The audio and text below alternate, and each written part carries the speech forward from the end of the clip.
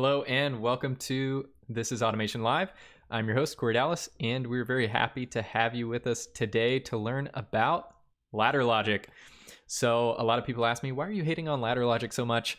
Well, I don't really hate ladder logic, and we're actually going to talk a little bit today about why it's actually a really great language to use in a PLC program.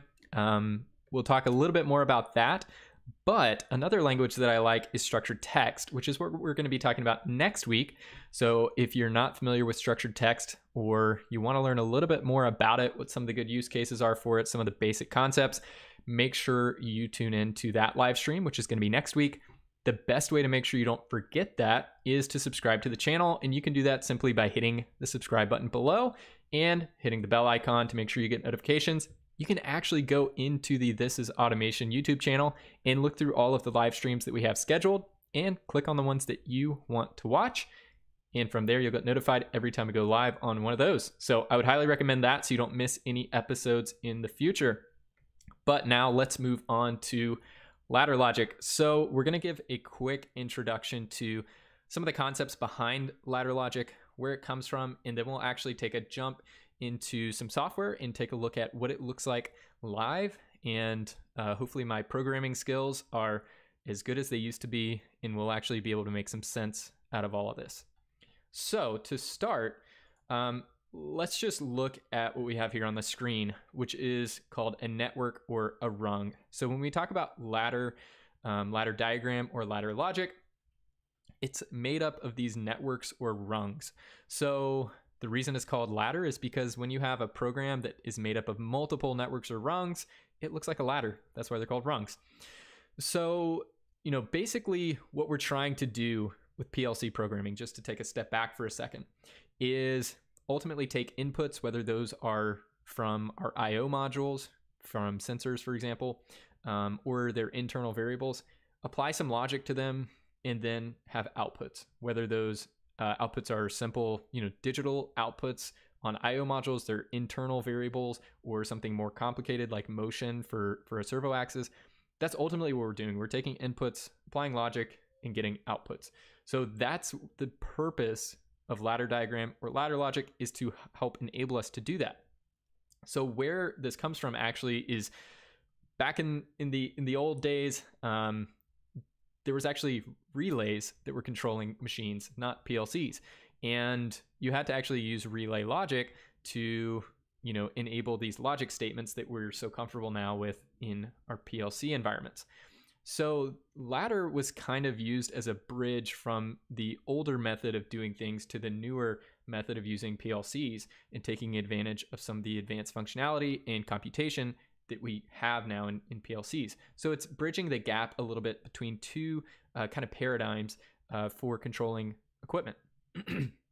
so the great thing about that is that it makes it very logical. It's really easy to understand ladder once you've seen it, once uh, it gets explained to you. So hopefully by the end of this, you'll be feeling very comfortable with it.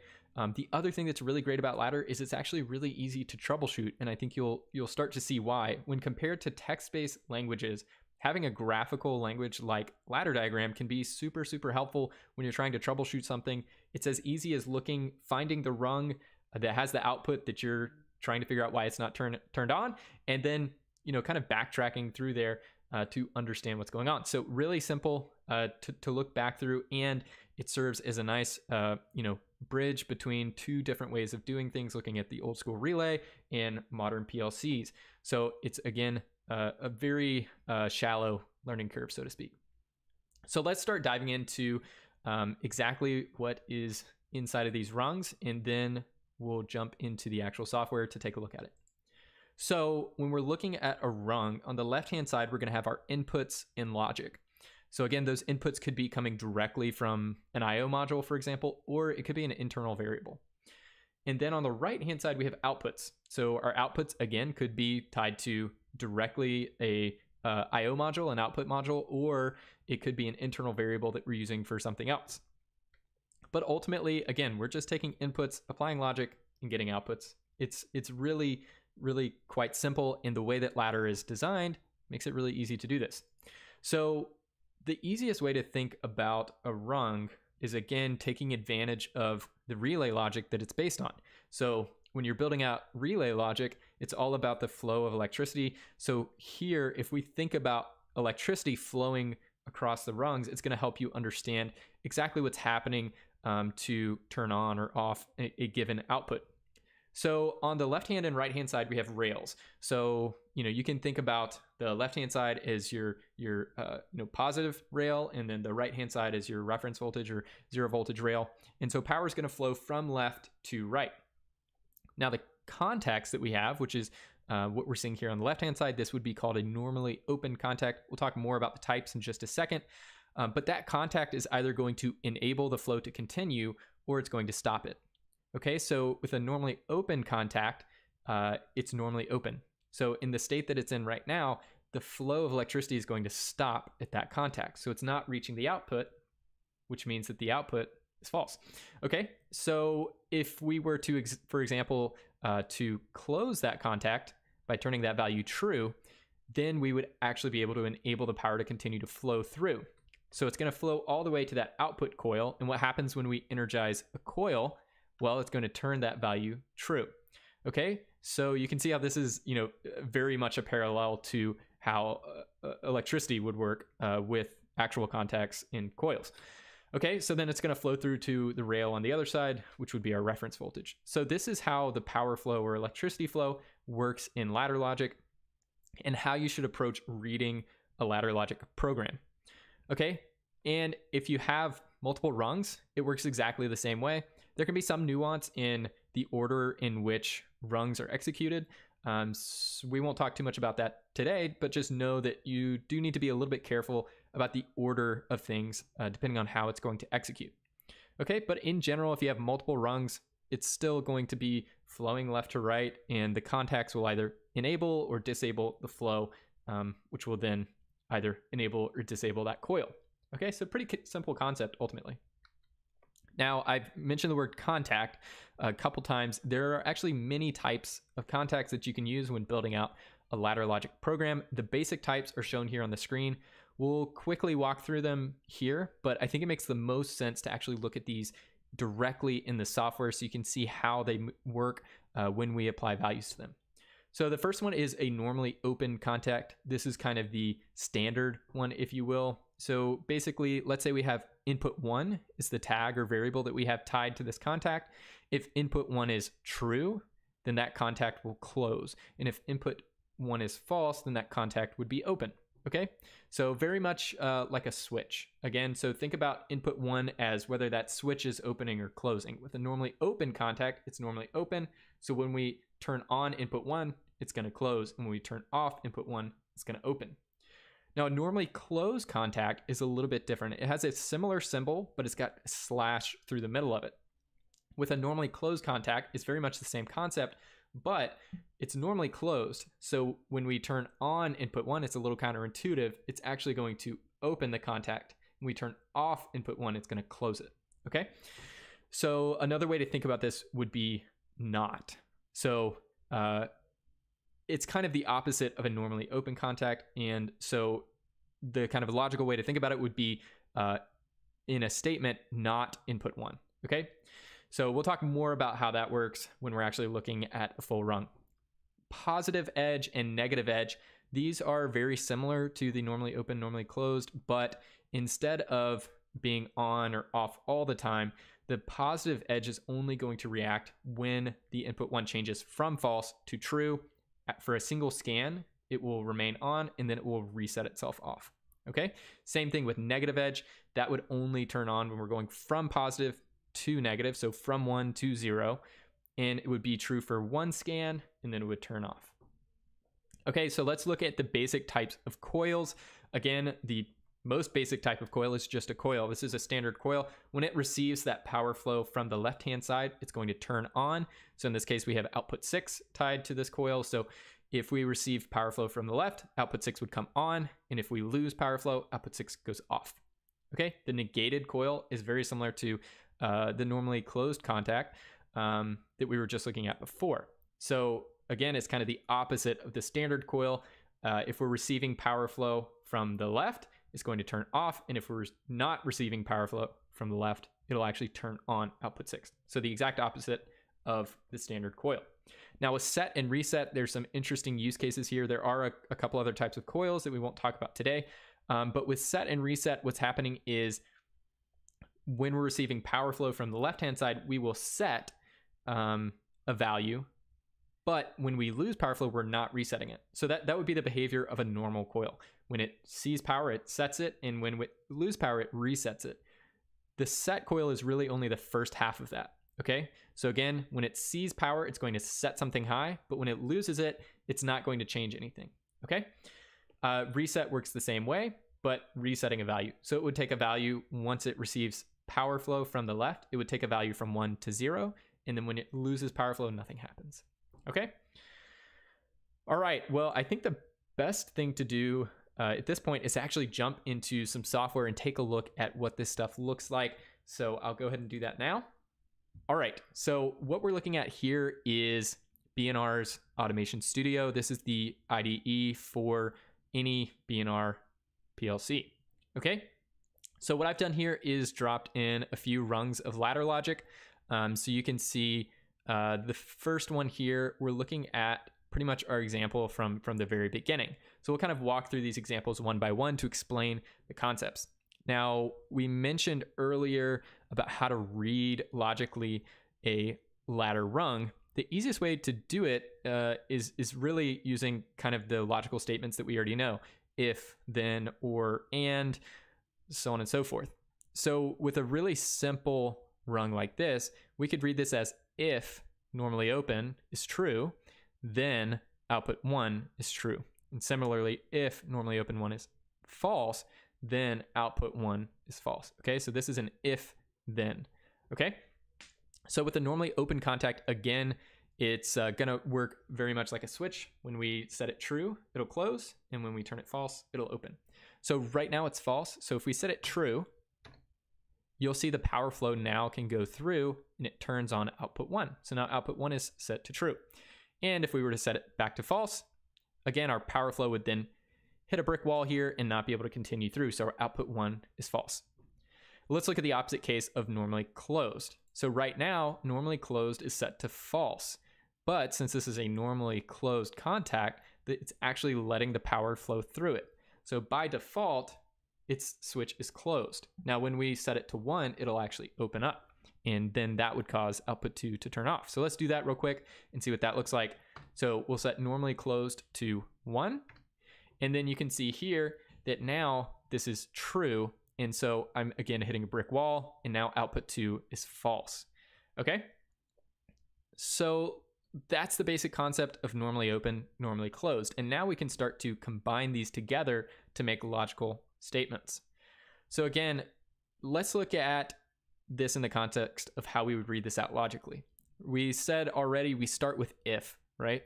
So if and now here we have two contacts, whereas before we had one. So here we would treat this as an AND. So really the way to read this would be if input one and input two, then turn output three on. Okay? So this is what we would call an AND statement. And you're not just limited to two here, you can actually include multiple in series, and you would kind of just expand your AND statement. Okay, so let's take a look at this. So what happens if we turn input one to true but input 2 is false in this case. Well, we're going to let the power flow through input 1, but then we're going to hit that brick wall at input 2 because this contact is still open. So our output 3 is still false. And let's look at the case where, okay, maybe input 1 is true, but, or sorry, input 1 is false, but input 2 is true. Again, we're hitting that brick wall up front, um, so we're not even getting the power flow to input 2. Now let's look at what happens when they're both true. Well, of course, because it's an AND statement, they're going to pass the power flow through both of them, and now output three is true. Okay, so again, if input one and input two, then output three. Okay, so when they're both true, output three is true. All right, now let's move on to the next logical statement, which is what we would call an OR statement. So in this OR statement, we're introducing something a little bit new, uh, which is this branch. Okay, so most of our rungs have been straight through. You can actually create branches, um, lots of different branches if you want. Um, and this would be kind of how we generate our OR statement. So again, here, what you want to think about is you have two different paths to turn on output 4. You can either do if input 1, then output 4, or if input 2, then output 4. Okay, so anytime we have parallel uh, branches like this, that's going to indicate an OR, or multiple paths to turn on our coil. All right, so let's take a look at that. So we'll turn input 1 on, and very easily you can see here our power flow is going through and turning on output 4. We'll turn input 1 off, turn input 2 on, and again you can see here we're coming through from this lower branch and then coming up to turn on output 4. Now the interesting thing here is if they're both true, uh, you can see it doesn't really make a difference. So uh, we're getting power flow through input 1 and through input 2, and of course output 4 is still true there. Now what happens if we want to be exclusive? So we call this exclusive OR, where we want if and only if one of them is true, right? So exactly one uh, to be true. Well, that's where we can use this XOR statement, this exclusive OR, okay? So the way to do that in, in ladder is pretty simple actually. So we would use a normally open contact for input one, followed by a normally closed contact for input two. That would be our first path to output five. And then we would branch off an OR and have a normally open for input two and a normally closed for input one. Now, how this works is you can only ever have one of these true, right? Because if input one is true, then this one will inherently be false. And the same thing, if input two is true, then this one will inherently be false. So if they're both true at the same time, we won't get any power flow. All right, so let's look at the case where only one of them is true. So input one is true, but input two is false. So we have an easy path through here and vice versa.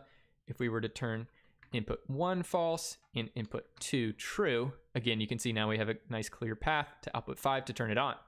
Now, what happens if they're both true? You can see that we hit a roadblock because our normally closed contacts are false for both of them. So they're open. Okay. And so we hit our brick walls there and output five is false. So an exclusive OR statement only works uh, when exactly one of the, the paths is valid. Okay?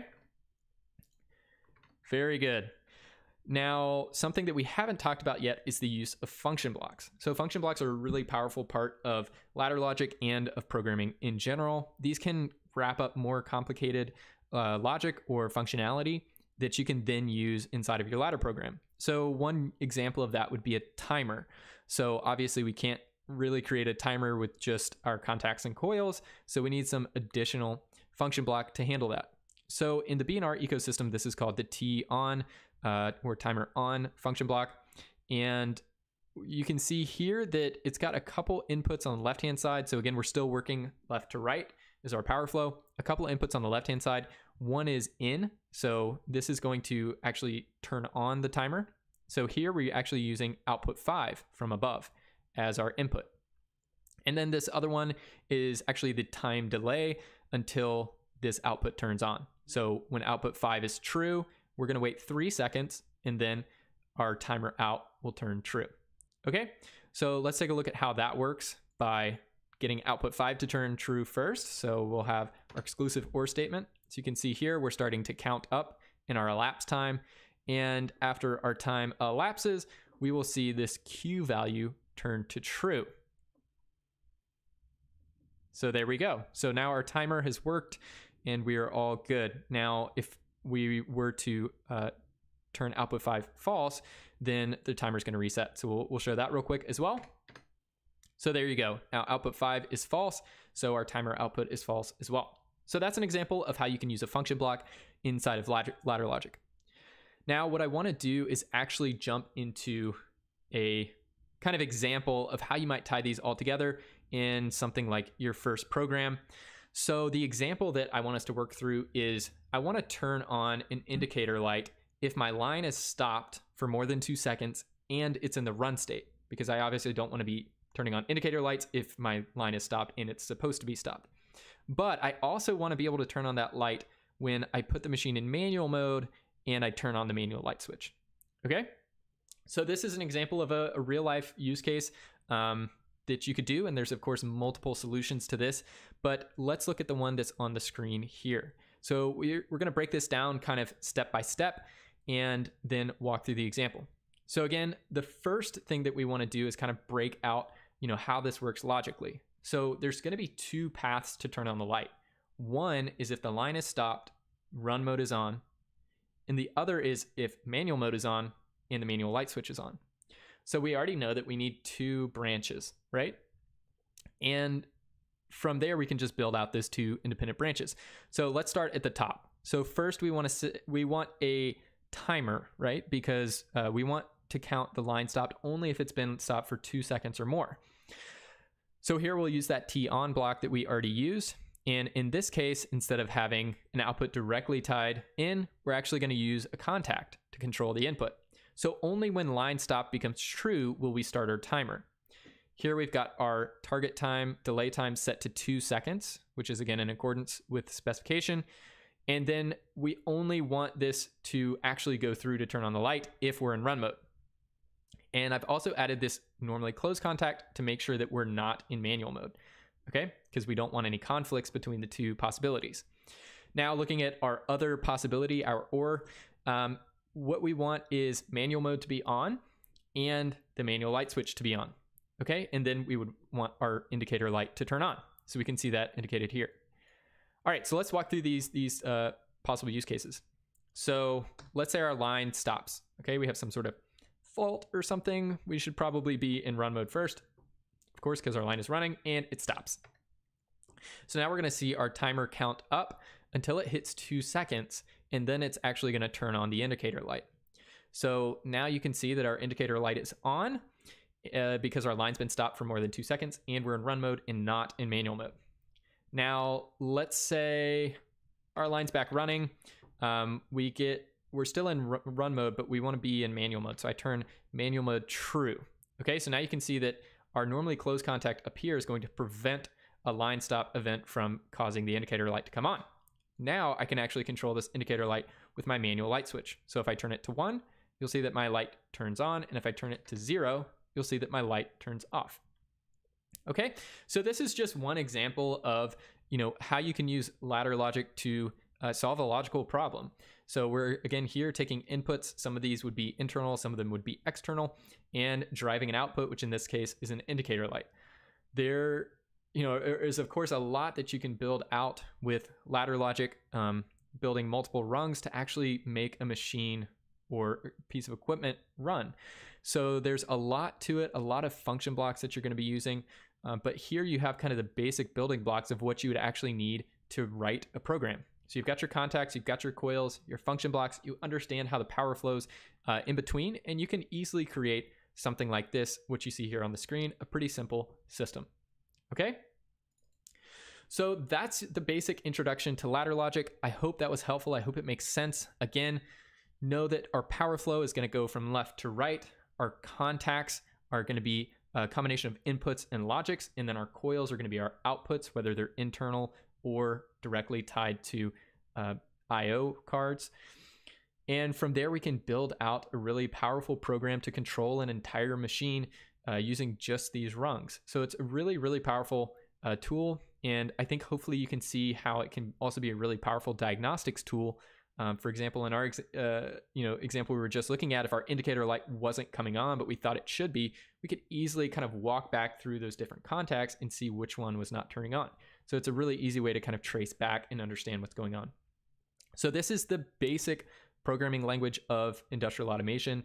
And now that you know uh, the basics of it, you can start to build on that knowledge and continue to grow as an automation engineer or as someone interested in automation.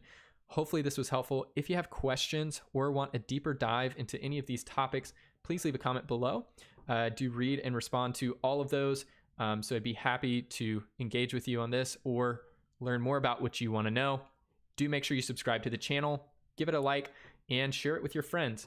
We do appreciate all of the likes, shares, subscriptions. They do mean a lot. Thank you again for joining us on this episode of This is Automation Live, and we will see you next time. Thanks.